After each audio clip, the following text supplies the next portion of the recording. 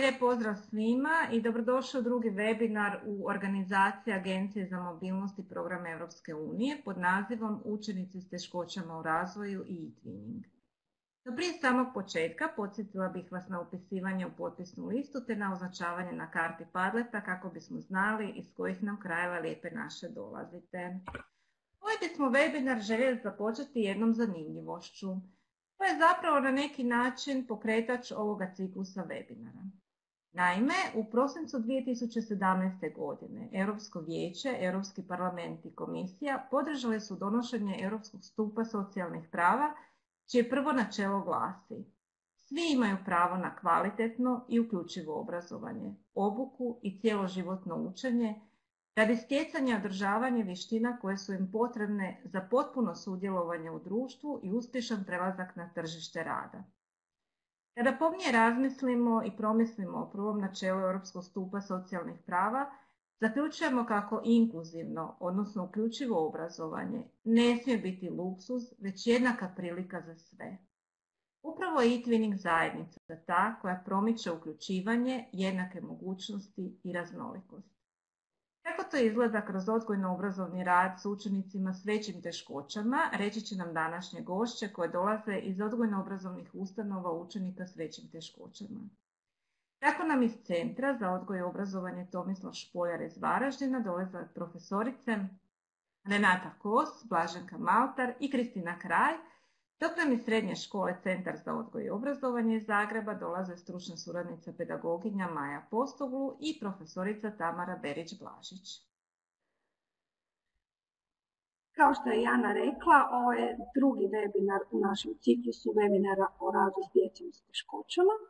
Sjetite se, prvi webinar bio je vezan također u sam rad odgojno obrazovnih ustanova za djecu s teškoćama u kojima smo ugostili naše ravnatelje a danas ulazimo u razrede i malo ćemo vidjeti kako to izgleda raditi sa djecom i kako još ono što je više izgleda raditi e-twinning projekte sa učenicima.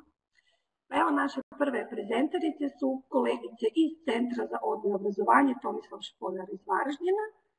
S nama je kolegica Renata Kos, učiteljica savjetnica, edukacijska rehabilitatorica koja radi s učenicima s većim i manjim teškoćama već 28 godina. 25 godina je radila s učenicima s većim teškoćama. Također kolegica Renata predaje i informatiku i predmete razredne nastave, a od 2014. je provela već 27 e-twinning projekata, a sudjelovala je i u Erasmus Plus projektu. Također, osim kroz nastavu, Renata i kroz druge aktivnosti pomaže osobama s teškoćama, pa volontira u plivačkom klubu za osobe s teškoćama, a radi i na kreiranju obrazovnih materijala. Osim toga, Renata je i tajnica Saveza edukacijskih rehabilitatora, te sudjeluje u organizaciji konferencija, kongresa, uređuje zbornike sažetaka i web stranicu. Kolegica Blaženka, s druge strane, je učiteljica, edukacijska rehabilitatorica koja radi u posebnom razrednom odjelu, također je učiteljica mentorica. Ona godinama vodi plesnu skupinu centra i zbog toga su redovito nastupali na međunarodnoj smotri kulturno-umjetničkog stvaralaštva djece s teškoćama u razvoju i osoba sa invaliditetom. Kolegica Maltar je već više od desetljeća stručni suradnik u udruzi za ranu intervenciju Varaždinske županije te kroz rad udruge sudjelovala i u organizaciji i provođenju nekoliko projekata edukacija same udruge, a također posebno ističe u okviru udruge vođenje kluba Zajedno sretni. Treća kolegica, Kristina Kralj, je profesorica fizičke kulture i e, radi aktivno s učenicima viših razreda osnovne škole, ali i sa učenicima srednje škole koji se školuju u pomoćnim zanimanjima, pomoćni kuhar, slastičar i pomoćni vrtlar. Često svoje učenike vodi na različite natjecanja i u Hrvatskoj, ali i na međunarodnoj razini.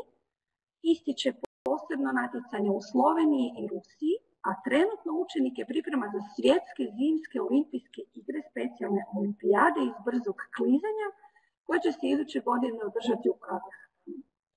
U centru vodi školski sportski klub Kojot, u koji se učenici vrlo rado uključuju jer osvajanje medalja i medijska pozornost posebno rado i motiviraju njezine učenike. Kao što ste čuli, okupili smo tri vrlo različite gošće, odnosno bave se sasvim različitim stvarima i vjerujem da će prezentacija biti izrazito zanimljiva. Drage moje kolegice iz Centra za obrazovanje, Tomislav Špolja, izvolite. Hvala. Hvala Danijeli i Ani. Danijela nas je lijepo predstavila. Znači radimo u Centru za odgoj i obrazovanje Tomislav Špoljar u Varaždinu. To je ustanova u kojoj se djeca školuju po posebnom programu. Imamo osnovnu školu i imamo srednju školu. Kako je uopće počelo to moje e-twinning iskustvo? Znači tamo 2014. je ravnatelj došao iz Brisela sa jednog kontakt seminara i pričao nam je o e-twinningu, on je bio oduševljen i potaknuo nas je da se i mi uključimo u e-twinning, pa sam se ja uključila u e-twinning portal i ono što je prepreka našim učenicima, oni ne znaju i ne uče strani jezik. Dakle, kod nas u školi učenici uče samo hrvatski i za one koji možda ne znaju, naši učenici e, koji su u odgojno-obrazovnim skupinama, dakle učenici sa većim teškoćama, imaju drugčije i različite predmete nego su to predmeti u redovnoj osnovnoj školi.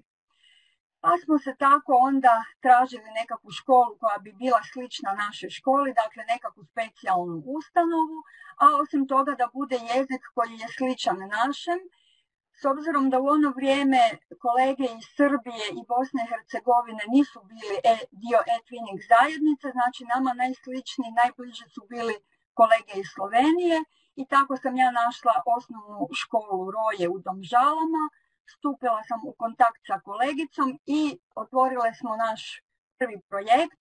To je bila kulinarična predstavitelj držav, gdje smo e, kroz dvije školske godine radile različite, e, prezentirale jela karakteristična za naš kraj. U našoj školi ja sam u ono vrijeme znači radila u odgojno-obrazovnoj skupini. Kao što možete vidjeti, tu su uglavnom bili učenici sa sindromom Down, i e, učenici sa cerebralnom paralizom. Zajedno sa mnom e, u projekt se uključila i kolegica Natalija. S obzirom da mi imamo predmet koji se zove skrb u sebi, u kojem e, pokušavamo djecu naučiti da budu što samostalniji u tim aktivnostima svakodnevnog života, znači da znaju se pripremiti nekakvi jednostavni obrok, da se znaju uzeti hranu ili piće kad su žedni, njima je to bilo super, evo oni, e, osim toga razvijala se njihova motorika, puno su mjesili. E, kad nešto radimo, onda ih i potičemo da oni sami budu i fotografi i kasnije kad smo dobili školsku kameru pa smo ih učili i snimati, tako da ove fotografije koje vidite, to su sve snimila i napravila djeca. Ove fotografije prikazuju kad smo mjesili naše varaždinske klipiće, i na kraju te školske godine smo imali roštiljadu, imamo u školi lijepu terasu, pa smo gore onda pekli, evo, e, ovaj učenik i ja zajedno oblikujemo čevapčiće, znači pekli smo, pripremali meso, od kolegice mama nam je ispekla tortu i tak smo na jedan srećani način završili naš twinning prvi projekt. Nakon toga krenuli su i drugi projekti koji su nam bili manje ili više uspješni, Uglavnom se sve vrti oko nekakvog kuhanja, jer naši učenici to jako vole raditi.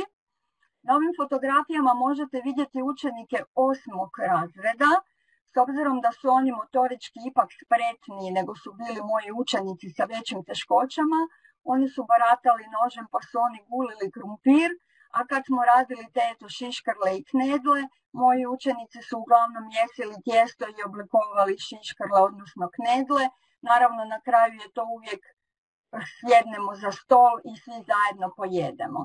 Naš sljedeći projekt koji je bio možda karakterističan i zašto ga ovdje stavljam su bile offline igre. Kolegica e, Skalnik me je kontaktirala i eto uključili smo se u taj projekt.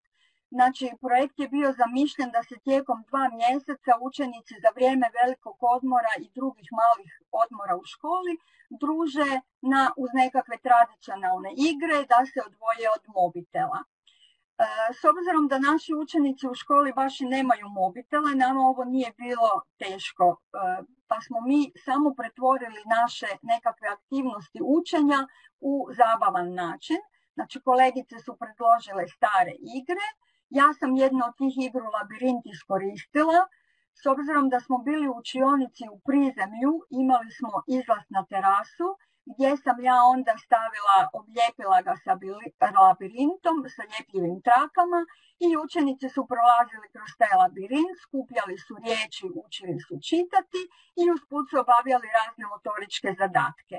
Na kraju toga smo kolegica Lela Skalnik i ja imali Skype susret u kojima su naša djeca zajedno putem kamere igrala igre i bili su oduševljeni i jedni i drugi, pa eto na jedan način to je bila na, jedan od naših inkluzija da smo bili uključeni i bilo nam je super.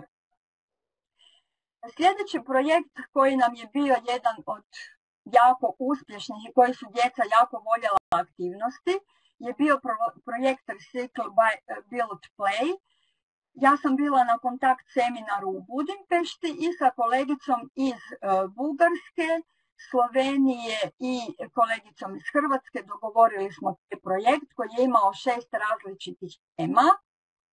To što smo radili, evo radili smo maketu škole.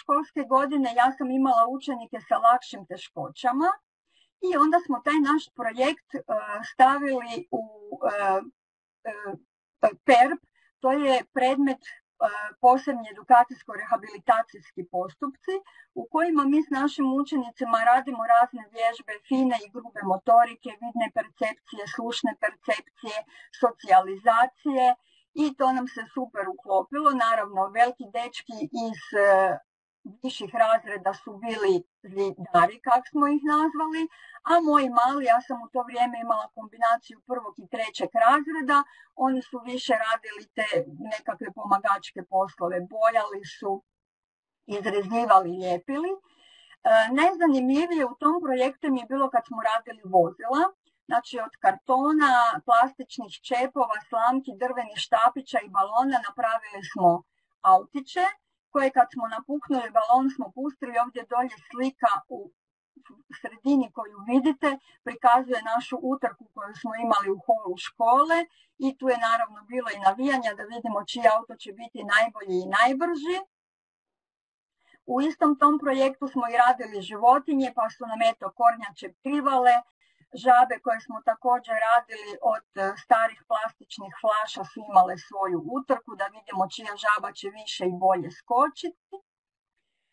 A projekt koji smo radili u sklopu Erasmus projekta nam je bio Food Factor i tu smo se eto predstavili kroz naše tradicionalne zagorske štrukle, ove e, koje kakve znakove koje gore vidite, tu su bili gore snimljeni video u kojem su se svaki od naših učenika predstavili.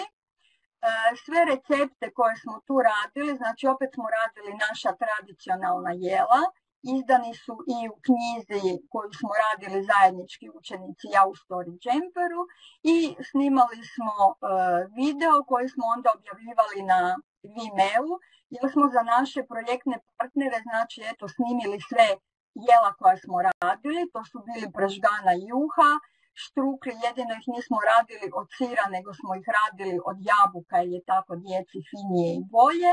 Isto smo radili klipiće, radili smo ove e, krasne i zlevku. Evo, i mi smo radili tradicijska jela naših partnera. Ovo je bio slikovni recept koji su napravili partneri, s obzirom da većina djece u njihovim školama ne čita, jer oni također su imali djecu sa sindromom Down, e, cerebralna paraliza i ostali, znači učenici, neki od njih i ne govore i ne čitaju, pa su onda napravljeni slikovni recepti i ovo je naš puding koji smo radili prvi put u životu i e, kolege iz Velike Britanije su nas pohvalili, rekli su da nam je jako lijepo ispalo. A tu e, za taj projekt smo i kolegica i ja dobile oznaku kvalitete. To je moja evo, prva oznaka kvalitete koja ponosno stoji na zidu učionice naše, jer su učenici naravno za to zaslužni. I ove školske godine smo se uključili u pet projekata. Evo neke autorice nekih od tih projekata vidjela sam danas na popisu da su i ovdje s nama u, kao gosti i slušaju. Pa ono što, e, neću vam pričati o svim projektima, istaknut samo neke.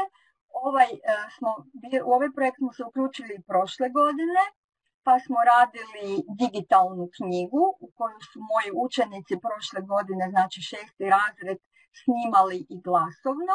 A ove školske godine, s obzirom na situaciju sa koronom, imali smo jedno predavanje putem Zuma gdje nam se predstavila profesorica sa veterinarskog fakulteta koja se bavi izučavanjem dupina, pa nam je približila svijet dupina i mlada kolegica koja radi u Njemačkoj, istražuje, bavi se neuroznanošću, pa je pričala djeci o eye trackingu i to im je bilo jako zanimljivo.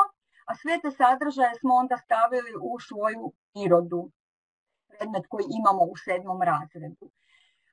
Projekt od Marula do Marula je nacionalni projekt Evo, online nam je donio i nešto dobro, pa sam se ja e, povezala sa kolegicama iz hrvatskog jezika s obzirom da ove godine u sedmim razredima predajem hrvatski jezik i kolegice Sunčana je osmislila projekt od Marula do Marula. Ja sam pitala da li se mogu uključiti sa svojim učenicima. Rado su nas primili, tako da smo mi jedini centar i djeca sa teškoćama. Ostalo su redovne škole, ukupno nas je devet. E, to su sve škole iz Varaždinske županije i do sada što smo ove godine napravili u tom projektu, znači učili smo o glagoljici, nama dobro e, ukomponiralo nam se u nastavu hrvatskog jezika, pa smo eto napravili materijale, igrali smo kviz i učenici su u Word Artu izrađivali svoje evo ga u obliku srca, znači e, povodom Međunarodnog dana materinjeg jezika su djeca radila pisala riječ ljubav na 20 različitih jezika svijeta i tu su se učili koristiti i Google prevoditeljem. Projekt o kojem će više pričati kolegica Blaženka je e, ovaj This is your fire tale, gdje e, su uglavnom kolege iz Turske, jedna kolegica iz Rumunjske i kolegica Blaženka i ja. Ovo je također napravila sam djeci u Book Kreatoru e, knjigu u kojem, smo kojem sam predstavila im projektne partnere, zato jer smo bili e, u vrijeme u nastavi na daljinu. Nismo mogli zajedno u školi gledati promotivne videe. I mislim e, da je twinning super da se mi možemo uključiti sa učenicima redovnih škola. Znači, moji učenici zaista rade prema svojim mogućnostima koliko mogu, osjećaju se super, e, sve im je to zabavno, uče na jedan drugčiji i zanimljiviji način. Ja njima i pokažem u Twin Space-u što stave drugi partneri, tako da su upoznati, naučimo, evo sad kad radimo sa Turskom, naučili su i neke turske riječi, i nadam se da ćemo odraditi još puno projekata i dobiti i ne, još koju oznaku kvalitete. Eto, predajem riječ kolegici Blaženki.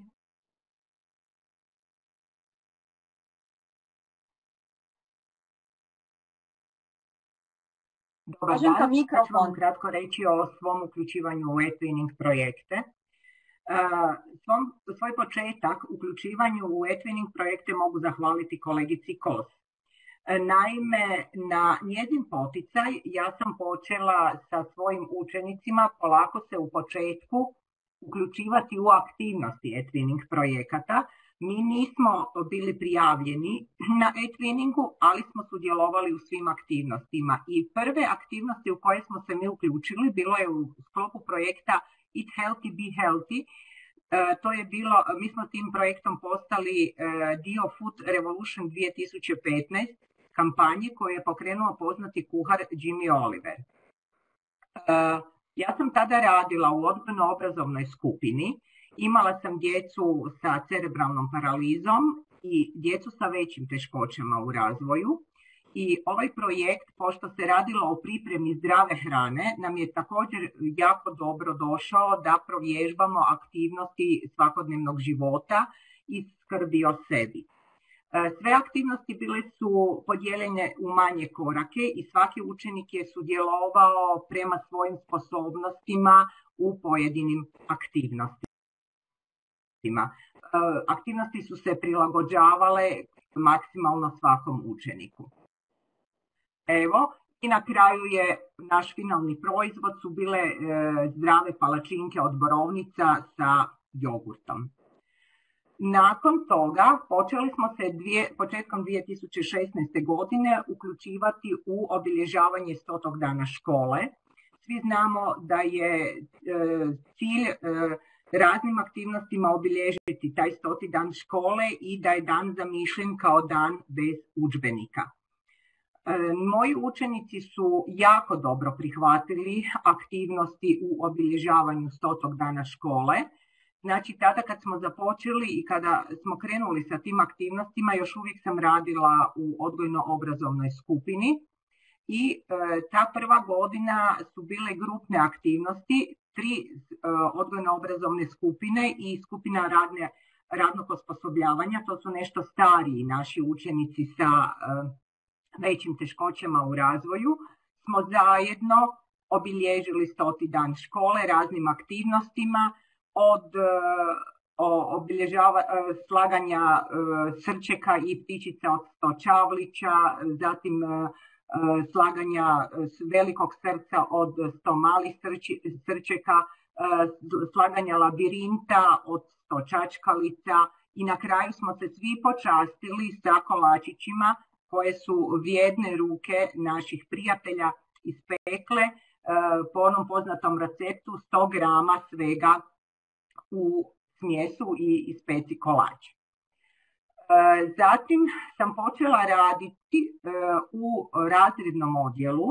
gdje su učenici ipak sa nešto manjim intelektualnim teškoćama i e, nastavili smo obilježavati stoti dan škole raznim aktivnostima koje sam opet prilagođavala njihovim razvojnim sposobnostima. Evo ovdje se vidi, tu smo radili u 100 kvadratića su trebali upisati svoje ime, svaki kvadratić jedno slovo, jer smo se tada tek opismenjavali ili su trebali u što kraćem vremenu prebaciti 100 puceta u drugu posudu. Uživali su, učenici su uživali u svim tim aktivnostima i rado su djelovali. Radile smo aktivnosti povodom stotog dana škole, smo radile čak i u grupnim aktivnostima, Ovdje vidimo kako učenici e, tri razreda, znači kolegice Kos, kolegice Natalije i moji, zajedno obilježavaju stoti dan e, škole i e, slažu, evo ovdje na fotografiji se vidi, u sto plastičnih čaša treba složiti sto slamčica. Tu smo ujedno poticale i razvijale i suradnju i uvažavanje različitosti kod učenika. Tu su i rezali srčeka, oni međusobno sudjeluju, e, razgovaraju usput i od toga smo onda složili brojku 100. 2019. E, godine, pošto ja imam e, učenike romske nacionalnosti, u aktivnosti u obilježavanju 100. dana škole ja sam uključila i aktivnost gdje smo pisali 100 različitih pojmova kojima smo imenovali e, e, djelatnosti, odnosno e, sve što se događa u selu ili gradu i sve što je vezano uz grad selo i onda su učenici romske nacionalnosti to prevodili na romski jezik, to je bajaški jezik, jer je bajaški jezik njihov jezik. Oni se u Strmcu, otkud oni dolaze, koriste tim jezikom i to je bilo jako interesantno e, svim učenicima. Učili su neke nove riječi, e, učenici romske nacionalnosti su se osjećali jako važnima jer su e, ovoga, oni bili kao glavni taj dan i bilo nam je vrlo zabavno. Zatim smo prošle godine izradili maske u obliku broja 100 i na taj način obilježili, izradili kišobran i sve prezentirali u holu naše škole. Sve ove aktivnosti koje smo mi provodili e, su me polako nekako osnažile da skupim dovoljno hrabrosti da se konačno i ja e, i da konačno i ja i moj razred postanemo e, dio Etwinning zajednice i mi smo se ove godine evo uključili u Etwinning projekt Stotog dana škole. Autorice su ove godine bile Adriana Lejko i Patricija Hercog bilo je 292 članova i mi smo bili jedini centar za odgoj i obrazovanje koji se uključio u obilježavanje stotog dana škole. E, ono, onoliko koliko sam je uspjela vidjeti, uz nas je još uključena bila, uključen bio i posebni odjel pri jednoj redovnoj školi. E, pošto sad radim u razrednom odjelu, znači mi tu imamo u razrednom odjelu e, red normalne nastavne predmete. Mi smo u sklopu tehničkog izradili brojku 100, učenici su zabijali čavliće i preplitanjem vune oblikovali broj 100. Zatim smo iz hrvatskog e, slagali riječi koje u sebi sadrže slog 100. Nakon toga smo se, pošto smo učili dijelove tijela, prisjetili koji dio tijela nam u sebi sadrži slog 100. Učenici su samostalno došli do zaključka da je to stopalo i na internetu smo tražili zanimljivosti o stopalima i bili su oduševljeni koliko su novih e, informacija saznali. I e, iz matematike smo onda računali sto zadataka množenja, radili smo u parovima, što im je bilo opet drugačije i e, zanimljivije.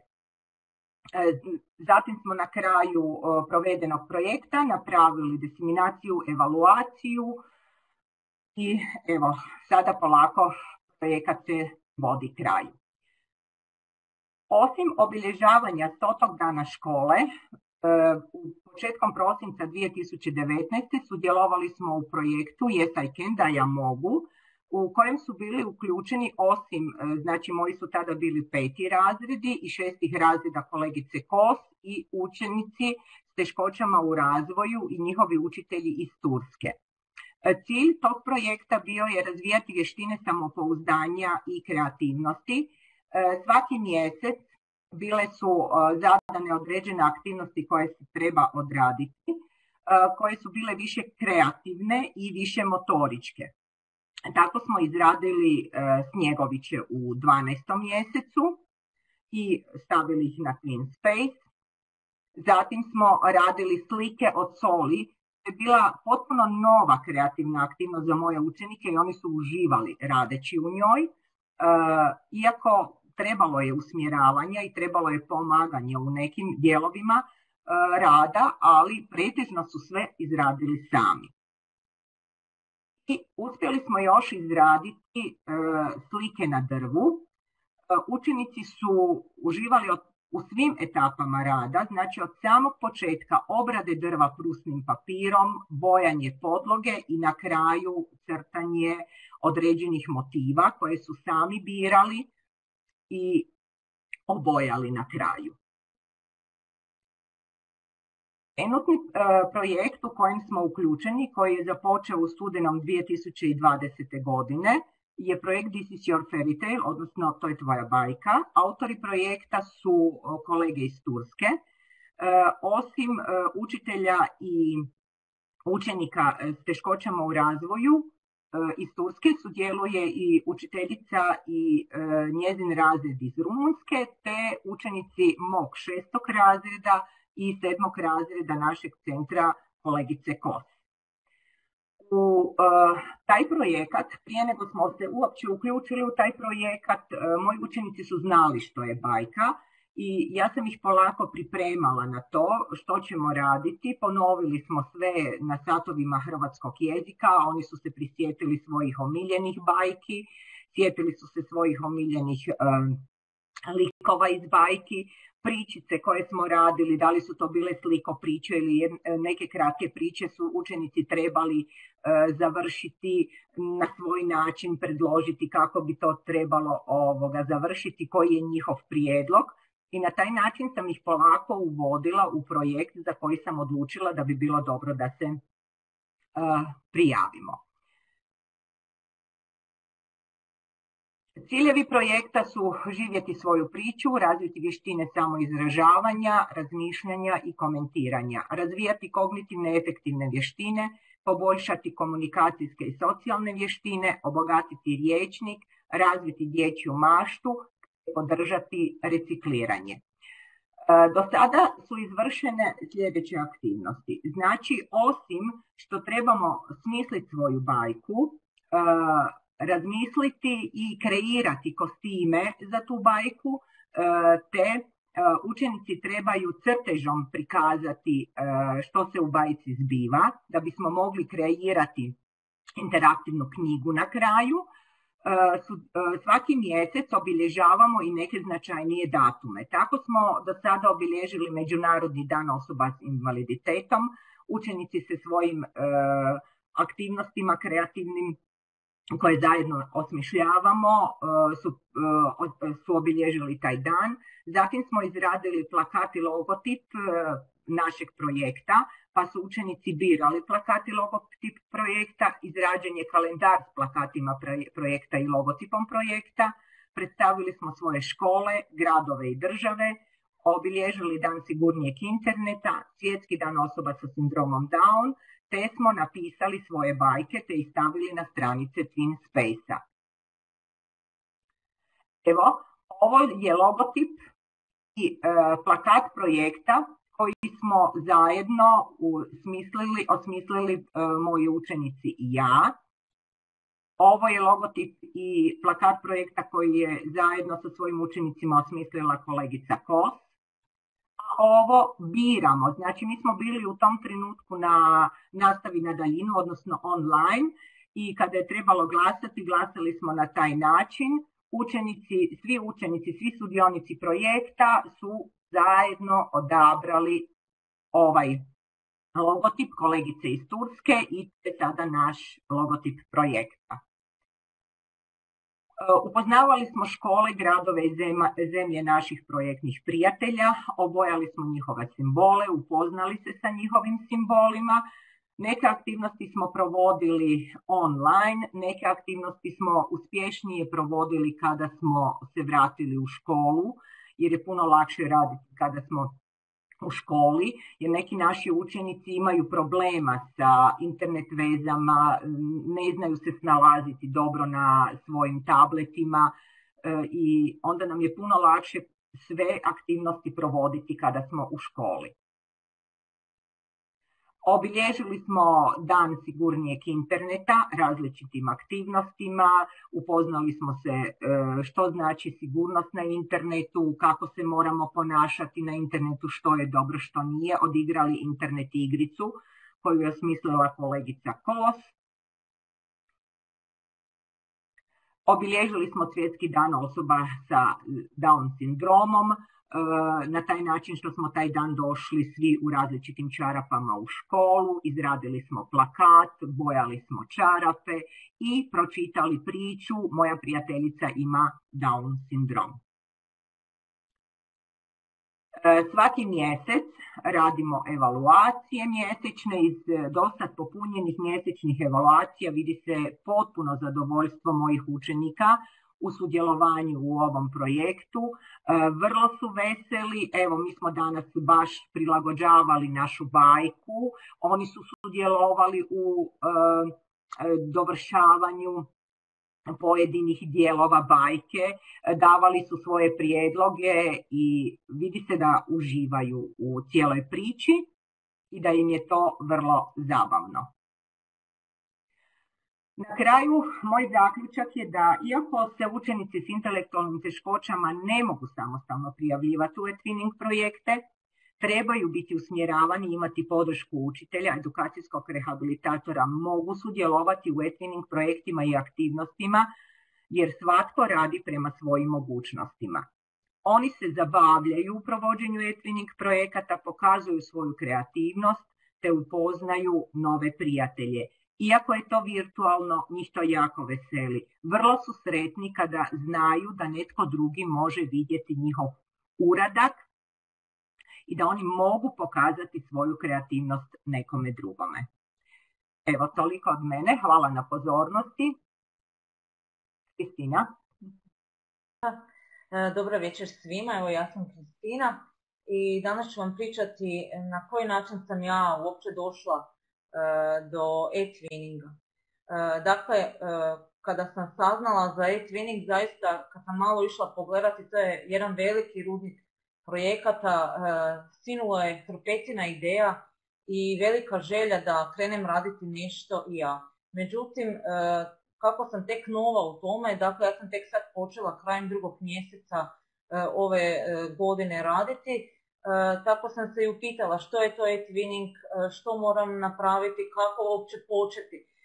Pa sam pogledala neke webinare od gospođe Sandre Vuk, koji, gdje sam ja vidjela na koji način se uopće registrirati, prijaviti, kako napraviti svoj, svoju stranicu, na koji način pristupiti ljudima, kako uopće se javiti i kako početi s nekim, s nekim projektom.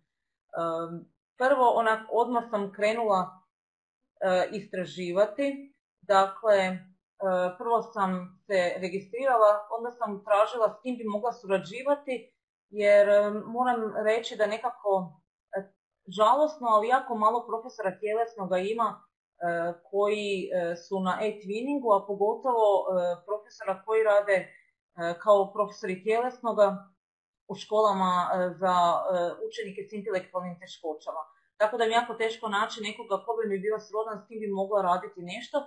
Međutim, odmah sam krenula u izradu svog projekta i to su stare igre gdje sam ja željela nekako potaknuti da se djeca što više, pogotovo u ovo vrijeme pandemije, u vrijeme kada je dosta online nastava, da se djeca što više igraju vani, da se maknu od tih tableta, računala i da što više vremena budu i s roditeljima vani.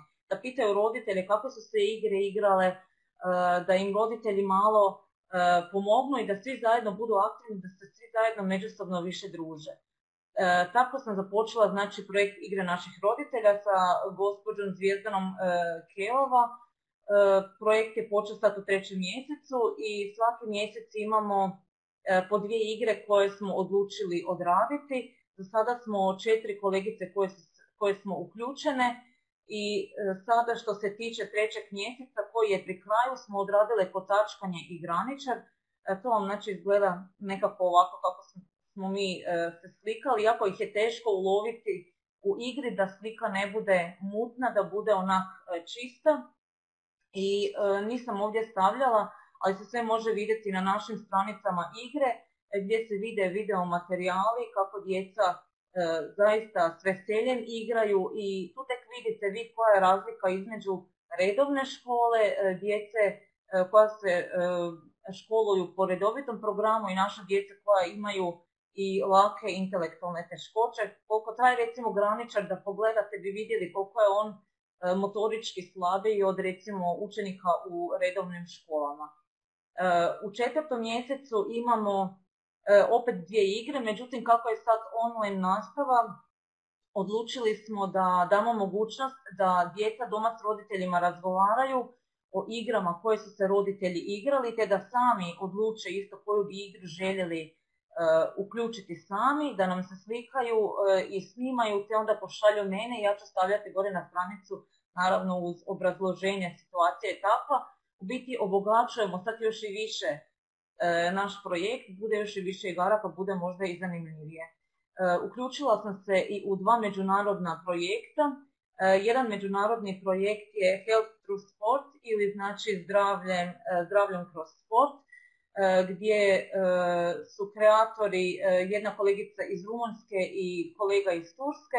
Tu sam se dosta uključila s učenicima romske nacionalne manjine iz razloga jer često na tjelesne ne nose opremu i kad ne donesu opremu da budu aktivne, onda radimo znači takve njihove likovne radove. Tu je bitno u ovom projektu, znači isto je složeno po mjesecima, i u trećem mjesecu smo morali dakle neku zdravu hranu nacrtati ili snimiti kako se radi zdravi, zdrav, zdravi neki šejk ili recimo kao što sam to radila sa srednjoškolcima neki plakat što oni smatraju da je zdrava prehrana.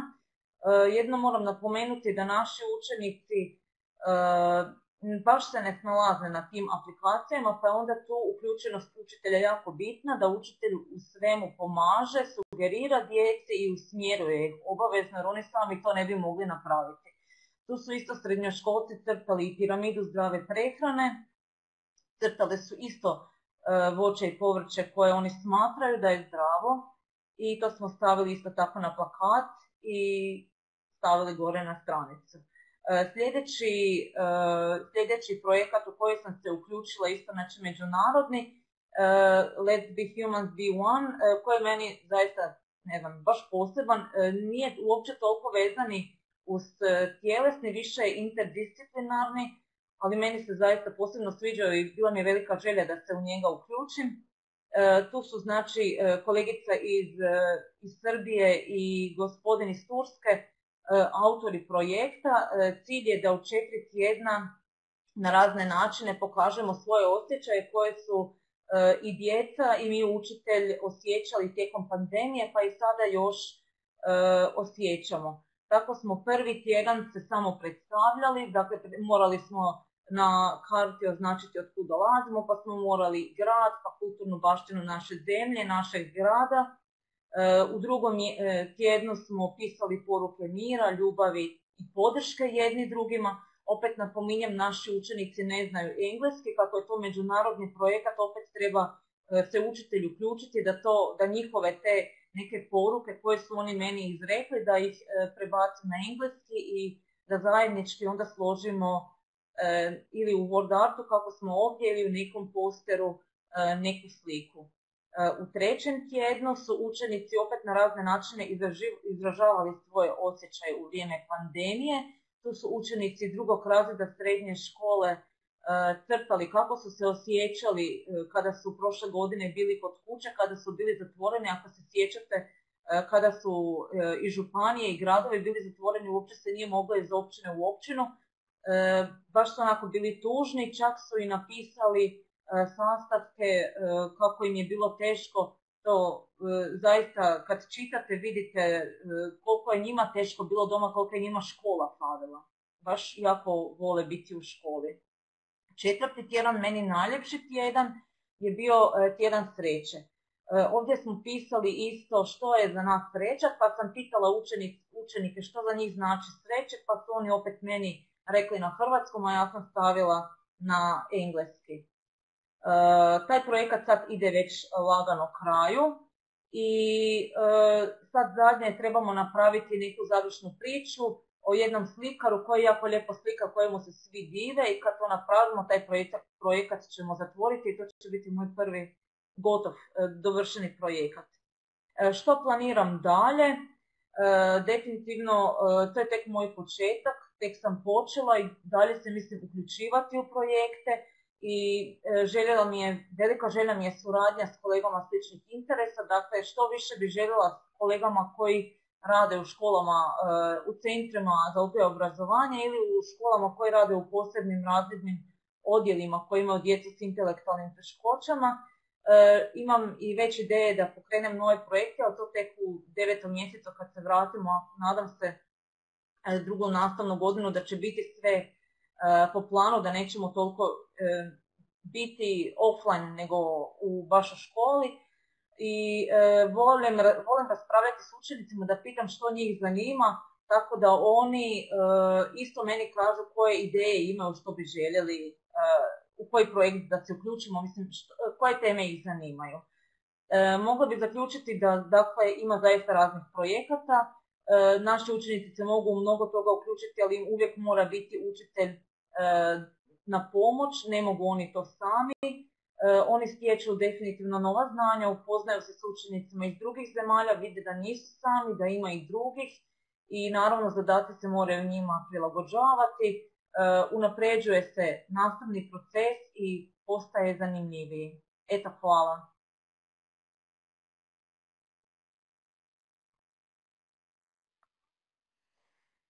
Evo, hvala vam puno na dijeljenju svoga iskustva rada u neposrednom odgojno-obrazovnom radu s učenicima s teškoćama. vidjeli smo kako različitim aktivnostima potičete učenike da daju ono najbolje od sebe, što je zapravo i najvažnije. Koliko sam vidjela u četu nema pitanja, već evo samo pohvale. evo, pohvale stižu. Ali evo imamo mi uvijek nekakvih pitanja, pa pitanje za Renatu. Um, evo vi ste do sada proveli 27 e-twinning projekata, pa me zanima tijekom provedbe projekata služili se učenici Twin Space-om?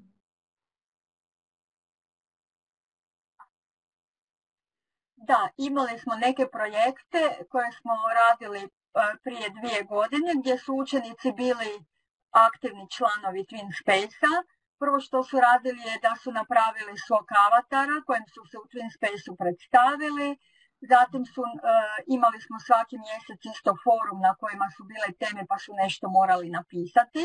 S obzirom naravno da je bilo na engleskom, sve sam im ja prevodila, diktirala, oni su onda to slovo po slovo pisali ili su se koristili Google prevoditeljem i naučili su koristiti još neke digitalne alate snimali su se u videu, pa kak znači da sami sebe predstave, morali su reći pa, reći pa riječi od sebi, pa smo te videe onda učili su kako da to stavimo gore, kako se stavljaju poveznice. Tako da, eto, neki puta moraju sudjelovati u Twin Space-u, ali naravno sve ide uz našu pomoć, jer doma sami to teško bi odradili. Evo pitanje za profesoricu Blaženku. Provodite li u centru još neke oblike suradnje? Ukoliko provodite koje i koje projektne aktivnosti? Možete molim vas mikrofon uključiti. Stalno gore mi je. Da, svakako ih provodimo. Provodimo međurazredne e, projektne aktivnosti tako smo 2017. E, školske godine 2017. 2018. i 2018. 2019. provodile e, kolegica Kos, kolegica Lujić i ja e, projekt socijalizacijskih igara u kojima smo obrađivale teme koje smo planirale u prirodi i društvu. Znači, sve te igre su bile tematski povezane sa kurikulumom i e, kroz te e, socijalizacijske igre smo poticale e, uvažavanje različitosti, suradnju, čekanje na red, sve one vještine koje kod naših učenika treba neprestano poticati, ne dolaze spontano razvojem kod njih, a pogotovo pošto imamo dosta učenika romske nacionalnosti u posljednje vrijeme uključenih u naš centar, onda nam je ovo poštivanje e, različitosti i e, poštivanje e, socijalizacijskih vještina i suradnje vrlo bitno. Teme koje smo obradili kroz te socijalizacijske igre su bile vezane uz godišnja doba, blagdane, promet, zatim mjerenje vremena satom i sad uskoro, nadamo se, će izaći i priručnik sa svim tim našim e, socijalizacijskim igrama. E, zatim smo e, pred dvije godine kolegica Kosija provele i projekt Nažizu gdje smo opet poticale tu jednu vrstu suradnje i odgovornosti kod učenika E, naime, učenici su trebali odabrati koje životinje žele raditi, ali isto tako radili su u parovima ili trojkama i morali su e, biti odgovorni. Znači oni su se međusobno dogovarali koje materijale će donijeti, na koji način će izraditi koju životinju, onda su morali prezentirati putem video poziva jedni drugima, jer nam je u tom projektu bila, e, se priključila i škola e, sa, odnosno posebna ustanova iz Križevaca, znači e, putem video poziva smo onda predstavljali te životinje jedni drugima i na kraju su morali ocijeniti svog partnera u tom radu, znači da vidimo da li učenici vide tu, da li je ta suradnja na kraju bila realizirana ili nije bila realizirana.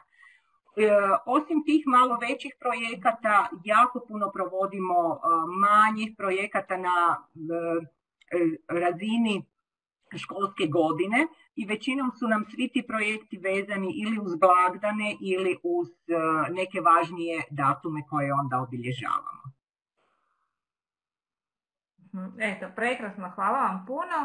I evo, e, pitanje za našu profesoricu Kristinu. Obzirom kako smo je u Varaždinskoj županiji ponovno u C modelu nastave, zanima me ukoliko imate natjecanja u vrijeme pandemije u Hrvatskoj, kako ona izgleda? E, evo baš pripremam učenike za jedno natjecanje takvo, e, koje bi se inače trebalo odvijati u centru Pula, ali sada ćemo preko Zuma imati atletiku u četvrtom mjesecu Dakle, mi e, snimimo djecu, njima pošaljemo rezultate, naravno sve mora biti e, po PS-u, kako bi se reklo, e, postoje pravila po kojima se mora natjecanje odvijati, treneri mi se sastanemo preko Zuma, poslije opet drugi dan, isto dva dana traje natjecanje, četvrtak i petak i djeci podijelimo na nekakvoj našoj E, manifestacije, recimo dan u obitelji ili nešto što ćemo imati ili dan centra, onda im podijelimo diplome.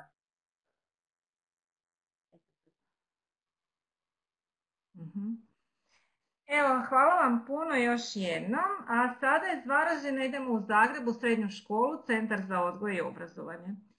U prošlom smo webinaru čuli što se u školi radi jer je ravnateljica centra profesorica Džana Baftiri pričala o programima škole, o promicanju inkluzije, volontiranju i naravno samoj podršci koju škola pruža učenicima. Danas će nam stručna, suradnica pedagoginja Maja Postoglu i profesorica Tamara Berić-Blažić otkriti kako teče provedba i twinning projekata i drugih projektnih aktivnosti s učenicima kroz neposredni odgojno-obrazovni rad. Stručna suradnica, socijalna pedagoginja, mentorica Maja Postogu je zapravo zaslužna za provedbu svih međunarodnih projekata škole, jer je ona pokretačica međunarodnih projekata u srednjoj školi, Centar za odgoj i obrazovanje, te trenutno voditeljica čak tri Erasmus Plus projekta. Uz ovako aktivan rad u školi također je i voditeljica Županijskog stručnog vijeća za voditelje školskih preventivnih programa u srednjim školama grada Zagreba i Zagrebačke županije. Profesor defektolog mentor Tamara Berić-Blažić već više od dva desetljeća radi u srednjoj školi Centar za odgoj i obrazovanje sa srednjoškolcima u trogodišnjim strukovnim zanimanjima. Kako učenici s kojima radi imaju različite intelektualne teškoće i dodatne teškoće u razvoju, profesorica Berić-Blažić voli provoditi projektnu nastavu. A kako stvarno provedba i twinning projekata i drugih projektnih aktivnosti izgleda kroz nastavu u srednjoj školi Centar za odgoj i obrazovanje, pokazat će nam naše gošće kroz svoju prezentaciju. Pa izvolite.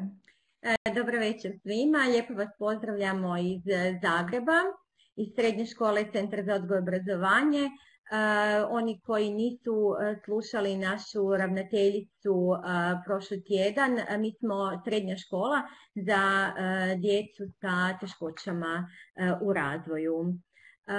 Danas ću vam ukratko predstaviti sudjelovanje naših učenika u razvoju odnosno sa teškoćama u razvoju u projektima koji se provode u srednjoj školi Centra za odgoj i obrazovanje, a koji su naravno vezani ili su e, e-twinning projekti ili su e, direktno vezani uz e-twinning platformu. Prije svega bih voljela reći neke specifičnosti sudjelovanja učenika s teškoćama u e-twinning projektima općenito, a sve što ću reći zapravo proizlazi iz naših iskustava. Prije svega e, djeca sa, e, odnosno učenici sa teškoćama e, imaju slabiju dostupnost projekata, zbog toga što je većina projekata logično namijenjena redovnoj populaciji i prilikom pretrage projekata zapravo često oni nemaju predviđeno uključivanje osoba s teškoćama ili imaju, ali mi ne možemo naprosto naći poveznicu sa odnosno mogućnost za uključivanje naših učenika, zbog toga što su nam ograničena područja i teme u kojima naši učenici mogu sudjelovati. Zbog svojih poteškoća naši učenici u određenim, u određenim temama projekata ne mogu slijediti zahtjeve tih projekata zbog toga, odnosno teško da mogu ravnopravno sudjelovati u nekim područjima, kao što je na primjer STEM, ili neke druge tehnologije ili možda čak i projekti koji se odnose na strane jezike i na mnoge druge stvari koje redovnoj populaciji ne predstavljaju izazov, naši učenici naprosto ne mogu ravnopravno sudjelovati. Ukoliko bismo sudjelovali u takvim projektima, mogli bismo se uključiti samo u nekakve vrlo početne osnove svega toga ili bi možda morali raditi na razini nekakve osnovnoškolske dobi. A to nije ono što mi našim učenicima želimo, jer naši učenici prije svega, iako su sa teškoćama, oni se prije svega žele družiti sa učenicima svoje dobi, znači sa vršnjacima, E, a isto tako e, žele se osjećati e, da doprinose jednako, odnosno ravnopravno da pridonose aktivnostima tog projekta. Stoga mi najčešće za naše učenike, da bismo sve to zadovoljili, te njihove zahtjeve i naše želje za njih, odabiremo nekakve umjetničke teme i nekakve teme koje se odnose na aktivnosti koje oni ravnopravno mogu ostvariti sa, odnosno provoditi sa svojim vršnjacima, partnerima u tom projektu.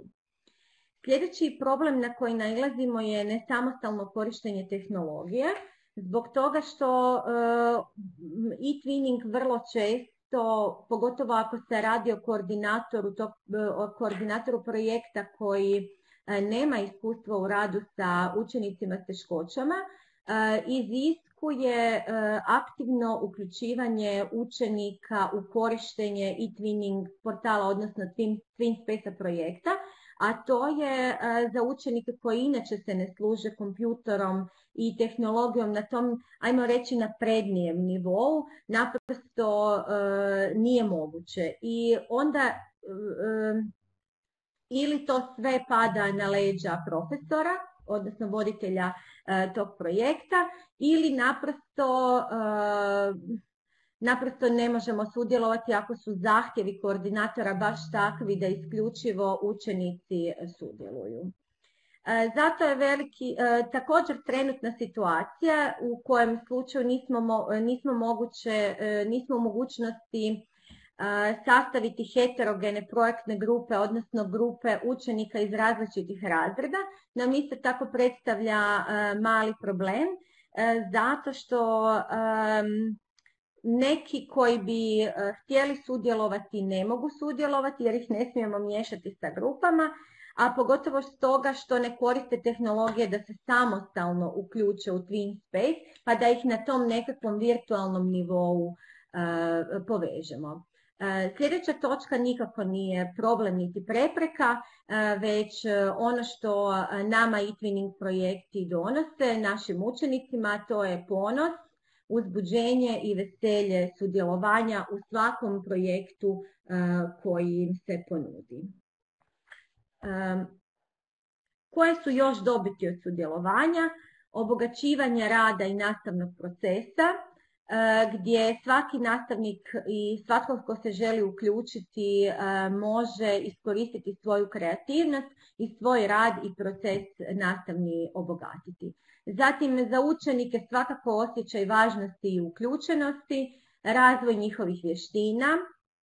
Tu, iako sam spomenula da se oni rijetko koriste tehnologijom i ne govore strane jezike, ipak oni te svoje vještine na način e, prilikom uključivanja u e projekt i tekako razvijaju. A također, još jedna od motivacija uključivanja u e projekte su naravno E, svi oni Erasmus Plus projekti e, koji su iz e-twinninga prerasli u prave mobilnosti u stvarnom vremenu i prostoru. primjeri nekih je twinning projekata u koje smo trenutno uključeni, iako smo ih imali jako, jako puno, čak ih nisam niti pobrojala ukoliko smo ih imali, ukoliko smo bili sada kao škola uključeni.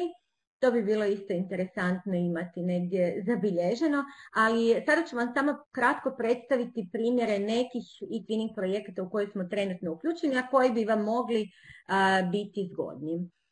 imamo 12 months apart, to je, vidite, zemlje iz kojih, odnosno zemlje i škole sa kojima surađujemo i u tom projektu mjesečno obrađujemo jednog slikara uglavnom abstraktnog i stvaramo e, prava umjetnička djela inspirirana dijelima tih slikara.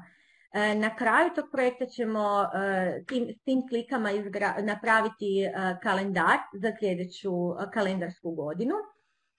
I ideja ovog projekta je bila da preraste u Erasmus Plus projekt, ali e, malo nas je spriječio Brexit, pa tu piše ako vidite baš preko ove zastave da nam je Brexit problem zbog toga što e, škola iz Walesa e, naprosto više ne može ravnopravno sudjelovati u e-twinning projektima. Evo tu su neke slike kada smo radili slikara Kandinskog. Zatim e, imali smo u prosincu i slikara, hrvatskog slikara Josipa Rubesa. E, interesantno, to je naš živući slikar e, koji nam je popratio našu Facebook stranicu i jako smo sretni jer nam je zaželio uspješan rad i bio je vrlo zadovoljan slikama koje smo mi stvorili inspirirajući se njegovim dijelima. Ova slika koju vidite, vidite ju u veličini u odnosu na vrata, to je jedna velika slika koja je napravljena od plahte i ona je, nju je poželjeli, poželjeli su zapravo kupiti roditelji jednog učenika koji ju je izrađivao, jedan od ove dvojce na slici i e, žele da njihovu vikendicu upravo ukrasi ova slika. E, zatim imamo e, još dva slika jednog njemačkog i Mondrijana. E, to su dijela nastala inspirirana njihovim dijelima. I trenutno slikamo slike inspirirane Dorianom Spencerom, jednim isto tako živućim slikarom iz Walesa i koji nam također daje svoje komentare i povratne feedback i kako on doživljava naše uratke. Sljedeći projekt u koji su se uključili naši učenici aktivno, to je Teaching a New Language Through Gestures. I unutar tog e-twinning projekta smo izradili brošuru o upotrebi i značenju gesti u hrvatskom jeziku, te smo uspoređivali te geste sa gestama iz zemalja drugih sudionika. Također smo se zajedno s našim učenicima uključili u Twin Space Forum, što im je isto bilo jako zgodno. A ovo je naša brošura, zapravo to su samo tri stranice naše brošure. Brošura ima puno više stranica gdje smo, naši učenici poziraju sa tim E, gestama i e, bili su jako, jako sretni i bilo mi je jako zabavno zapravo sudjelovati u izradi ove brošure. E, također partneri su izradili svoje brošure i uspoređivali smo geste, vidjeli gdje koja gesta što znači, što, koje su sličnosti, koje su različitosti i tako dalje. Zatim imamo Senart Sky's the Limit projekt koji je e, prerastao u Erasmus+. On se provodio tijekom cijele prošle školske godine i ta dobra suradnja dovela je do zajedničkog Erasmus Plus projekta. E, svaki od partnera u svom radu koristi određenu metodu art terapije koju će e, poučiti ostale. Pa ćemo tako mi u projektu E, zapravo biti zaduženi da svoje partnere u Erasmus projektu e, poučimo muzikoterapiji kao vrsti terapije koju mi provodimo u našoj školi e, sa našim učenicima. Za sad se sve aktivnosti provode online, znači putem i twinninga koji nam je osnovni, osnovni portal i naravno diseminiramo i na drugim portalima, ali uh, Twin Space nam je zapravo uh, osnova uh, trenutno dok ne počnemo sa mobilnostima u zbilji i realnosti. Ovo su neki od uradaka. Ovo su mandale kojima su nas poučili portugalski partner, nas je poučio tehnici izrade mandala, što je bilo jako interesantno i zgodno. Svaki mjesec tiskamo, odnosno izdajemo magazin, odnosno brošuru projekta u kojoj se uključuje, u kojoj pišemo svaka je, svaki je broj tematski i svatko piše nešto vezano na tu temu. Projekta koji smo posebno ponosni, to je naš prvi Erasmus Plus u kojem smo koordinatori, da ne bi bilo zabune, e, trenutno provodimo e, čak sedam Erasmus Plus projekata, a prethodno smo e, završili još dva. Ali ovo je naš prvi projekt koji smo sami osmislili i koji smo napisali, prijavili i dobili i kojim sad trenutno koordiniramo. E, imamo čak osam partnera i Erasmus Plus, ovaj je e, Erasmus e, nastavak uspješnog e-twinning projekta u kojem ćemo izraditi kurikul novog fakultativnog predmeta, priručnik, otvorene obrazovne sadržaje koje prati priručnik, a bavit će se temama kao što su vještine snalaženja u izvanrednim situacijama, ali ne samo u situacijama prirodnih katastrofa, već i nekih situacija u kojima se naši učenici s teškoćama često puta nađu pa nisu sigurni kako reagirati, kao što je kad se izgube u velikom gradu, što ako se nađeš u prirodi pa te ne znam pa naiđeš na neku opasnu životinju ili pak opasnosti u prometu, opasnosti u kućanstvu,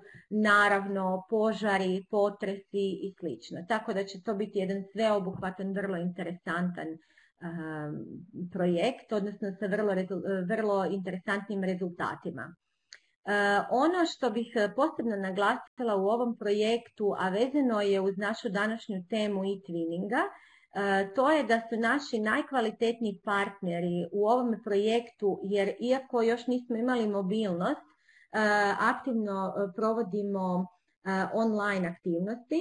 Naši najaktivniji, najpouzdaniji, najkvalitetniji partneri pokazali su se upravo oni partneri iz redova e-twinninga, odnosno naših bivših e-twinning partnera. To je još jedna velika prednost e-twinninga da možete E, dobro selektirati partnere e, u koje se možete pouzdati koji će vam biti aktivni e, i na koje se možete zapravo osloniti tijekom provedbe projekata u zbilji. Evo to su tek neki, to nam je plakat, zatim plakat koji smo u sklopu tog projekta i napravili sada prigodno u slučaju potresa, ovo nam je logo i također da vidite samo naše e, mali isječak iz našeg e, online sastanka. E, ovo tu je sad već Tamarina prezentacija pa ću njoj sada dati riječ, a vama hvala na pažnji. Dobro večer svima. E, evo ja ću, ja ću se nadvezati na e, kolegicu Maju e, i ispričati vam malo sa čime se susrećemo kada radimo projekte sa našim učenicima koji su kao što ste već čuli svi djeca sa teškoćama u razvoju i tako imaju neke karakteristike u kojima treba voditi računa. Trenutno sam koordinator jednog projekta koji je umjetnički projekt, projekt Artera. I zamišljen je u stvari da potiče razvoj tih umjetničkih vještina kod djece, kod učenika sa teškoćama u razvoju na šest područja, drama, glazba, kiparstvo, slikarstvo, dizajn i ples su ta područja. Za sada smo ostali na temi kiparstva.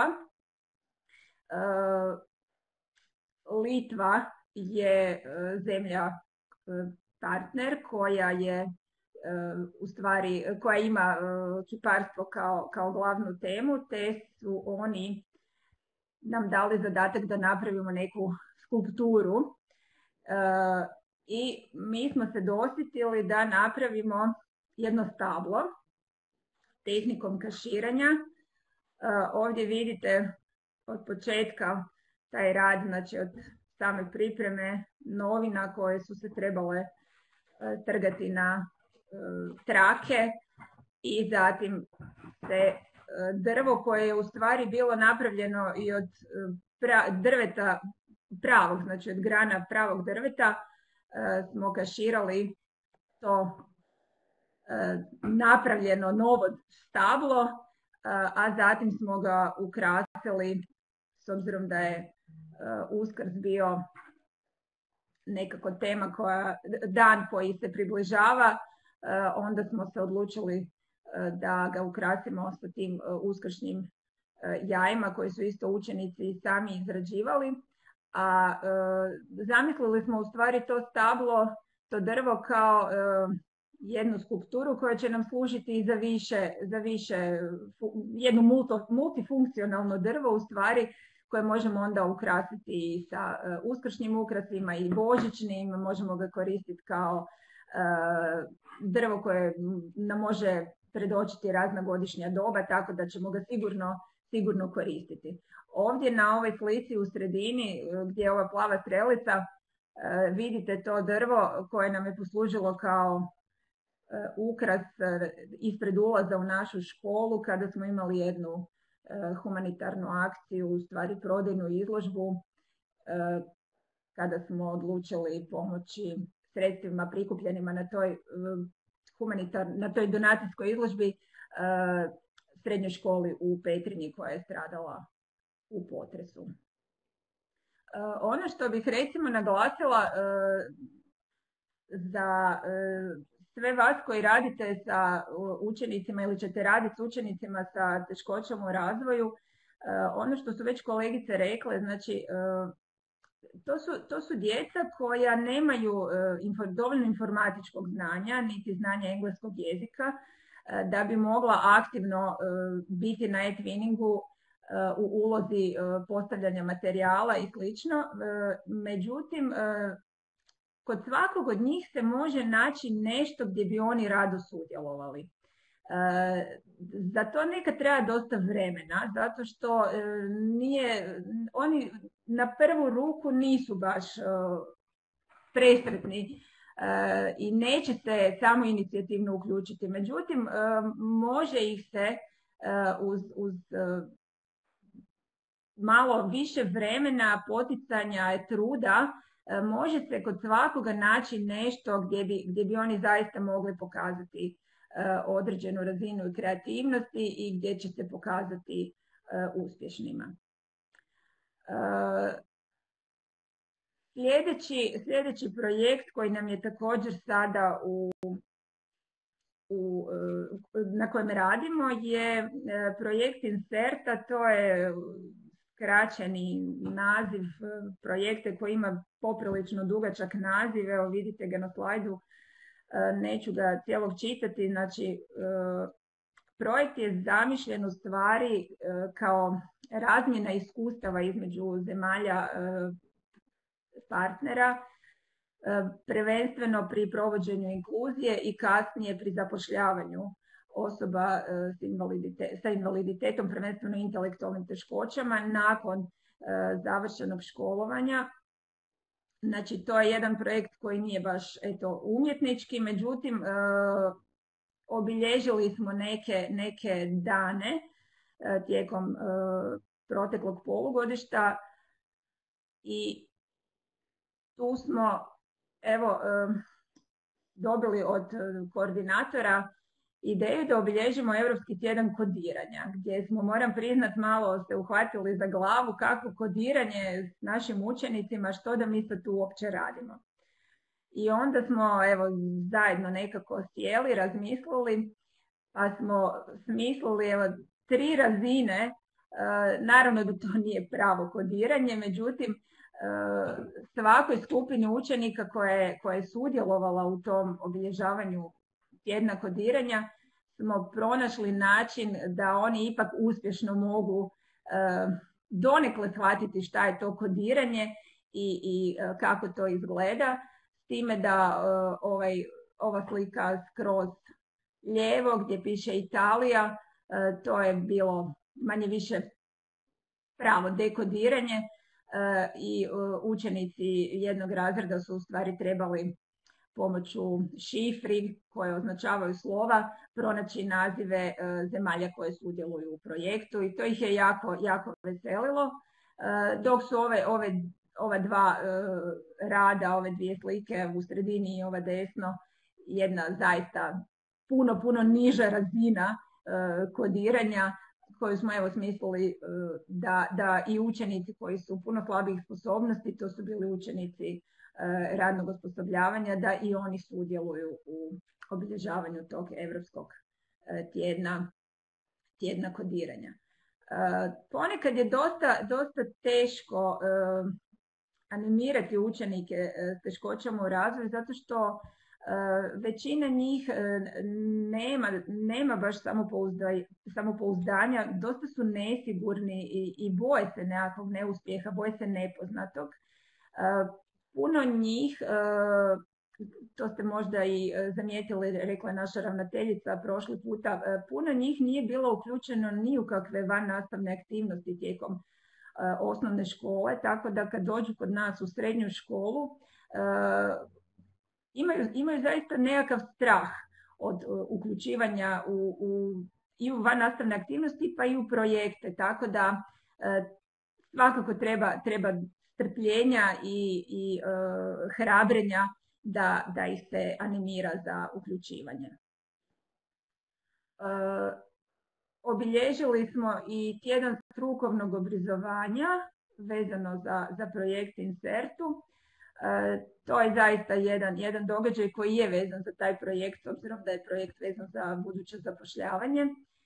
Tu su nam se uključile učenice i jedan učenik koji se osposobljavaju za zanimanje pomoćnog cvjećara i oni su izrađivali, kao vidite na slici, ove e, aranžmane koji su se onda e, mogli, u stvari aranžmani koji, koji se nose na groblje povodom dana, dana svih svetih koji je bio nešto, nešto prije samog tog tjedna strukovnog e, obrazovanja. Uh, učenici koji, koji uh, recimo, uh, ova skupina učenika koja je sudjelovala u obilježavanju tjedna strukovnog obrazovanja je vrlo, vrlo rado sudjelovala u projektu zbog toga što su oni izrađivali nešto što je baš vezano uz njihovo zanimanje.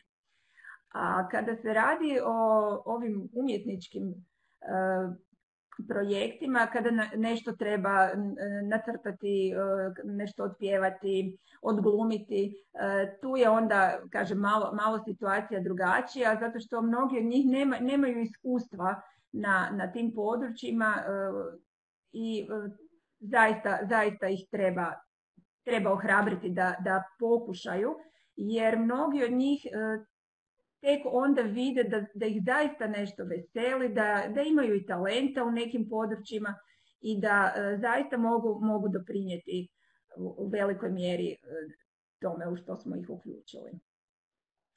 Znači, evo, za, za nekakav zaključak e, i za poruku svima vama koji ćete raditi sa djecom s teškoćama u razvoju, zaista svatko od njih može nešto.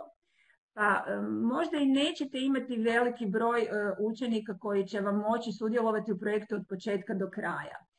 Možda ćete raditi sa velikim brojem učenika od kojih će svako sudjelovati u samo jednom koraku, ali njima to isto jako, jako puno znači i isplati se zaista pokušati pronaći nešto za svakoga jer uz, uz pomoć i uz višekratno dovođenje njih u situacije da nešto pokušaju može se, može se zaista napraviti puno. Evo toliko, toliko od mene, pa ako ima kakvih pitanja, evo kolegica Maja ja smo zajedno ovdje pa ćemo rado, rado odgovoriti. Nije bilo nekakvih posebnih pitanja što se tiče naših sudionika, međutim naravno da ću ja postaviti jedno dva pitanja.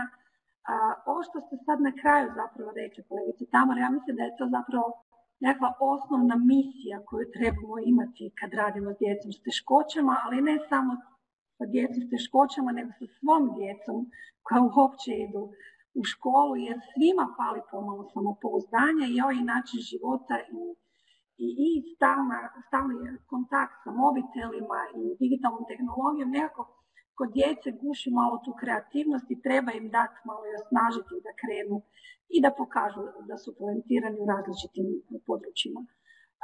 pa evo, za prvo ću postaviti onda kolegici Damari pitanje. Vi ste tu sad pokazali prekrasne ovaj, aktivnosti. Da li to sve radite za vrijeme nastave s učenicima ili i tijekom izvan nastavnih aktivnosti? E,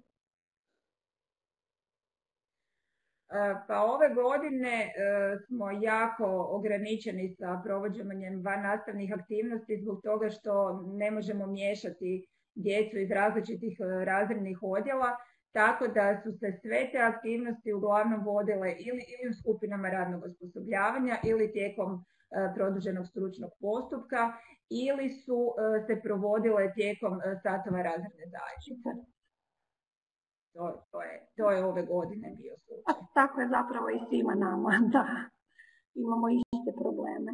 Kolegice Maja, onaj projekt I Will Survive uh, je stvarno izvrstan. Evo, stvarno to su neke životne vještine, koliko sam ja primijetila. Kako ste uopće došli na ideju, s obzirom da ste vi pisali projekt, koliko je to sve skupa trajalo, koliko vas je sudjelovalo i koja vam je bila onako glavna, onak mali, mali onak insert kako, kako ste krenuli Pa evo cijela naša, svi kolege, a na čelu sa našom ravnateljicom stalno promišljamo o tome koje bismo, koje bismo fakultativne predmete mogli ponuditi našim učenicima da im budu korisni. Pa tako su između ostalog kolegice moje vode i domaćinstvo a e, ovo je bila jedna ideja prvo za jedan fakultativni predmet. Međutim, shvatili smo da mi nemamo dovoljno znanja e, da bismo mogli suvereno vladati svim tim sadržajima i onda se rodila ideja da bismo prvo proveli jedan Erasmus Plus projekt u kojem smo našli e, partnere za sva područja koja su nas interesirala E, i e, u kojima ćemo prvo educirati sebe, napraviti e, naravno i mi partnere, napraviti priručnik otvorene obrazovne sadržaje i onda ponuditi ne samo našim učenicima taj predmet vještine preživljavanja, odnosno vještine snalaženja u izvanrednim situacijama, nego e, i e, svim zainteresiranim školama gotovi, gotov e, kurikul, odnosno gotov izvedbeni plan i program, priručnik materijale i da mogu i oni implementirati taj predmet u svoju školu. Ali o tom potom, ja bih samo htjela reći da smo mi nažalost ili na sreću bili vizionari jer mi smo taj cijeli projekt u kojem e, naravno jedan cijeli dio odlazi i na e, snalaženje u slučaju potresa, e, prijavili, mislim da je točan datum 18.3. prošle godine, a znamo da je potres bio svega nekoliko dana iza toga. Tako da, evo, mi nismo bili zloguki proroci, nego smo naprosto bili svjesni u kakvom trusnom području živimo i da e, zapravo trebamo biti spremni na to. A e, potres nam je zapravo samo dao još jednu potvrdu da smo na dobrom putu i da je naša projektna ideja zaista životna i nadam se da ćemo ju onoliko kvalitetno koliko smo ju zamislili moći i provesti usprko svim ovim nedaćama koje nas e, trenutno koče e, da ga počnemo provoditi u pravom smislu. E, to je dobra vijest, znači kad završite projekt obavezno nam se javite kako bi podijelili ovaj, te vaš, taj vaš rezultat i upoznali sve sa vašim radom. Evo imate jako ovaj, puno pohvala i samo naprijed kažu i mi vam kažemo isto tako i zahvaljujemo vam se još jedan. E pa ja bih zapravo na ovaj način nekako završila sa našim webinarom. Pozivam sve naše drage gošće da nam se pridruže kako bi se zajednički oprostili od naših sudionika. Ovo je bio znači drugi webinar, a nemojte se zaboraviti potpisati na potpisnu listu s obzirom da je bilo dosta sudionika i također molimo vas da ispunite i evaluacijsku anketu. Ovdje su naši kontakti, pa ukoliko i kome zatrebaju, slobodno nam se obratite, javite. Sljedeći puta, sljedeći webinar ćemo također nastaviti sa istom temom, međutim prebacit ćemo se u zanimanje pomoćno, pomoćno zanimanja i kako su se one implementirala u redovnoj škole i na koji način se nastavnici snalaze u radu sa djecom s teškoćama u okviru redovnog obrazovanja. Evo, puno hvala još jedan put našim dragim gošćama i vidimo se na sljedećem. Hvala. Hvala. Hvala. Hvala. Laku noć. Doviđenja. Doviđenja.